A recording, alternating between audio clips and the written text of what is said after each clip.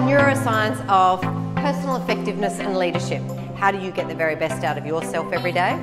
How do you show up as a great leader, a great influencer, a great mother, a great father, a great whatever else you want to be as an individual, a great salesperson, a great leader of others? How do we get the very best of our interactions with others?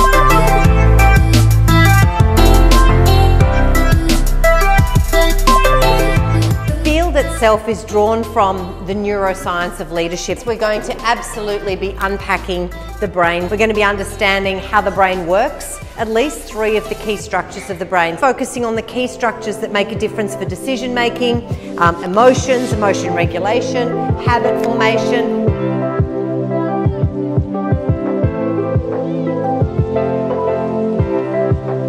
time we inspire somebody by saying, this is what our mission is, this is where we're going, this is why we're doing this, we're reminding people that we're coming from a heart space and we're coming from a why. As Ruth says, do we share enough of our why and do our managers generally share enough of their why, their own why and the organisation's why?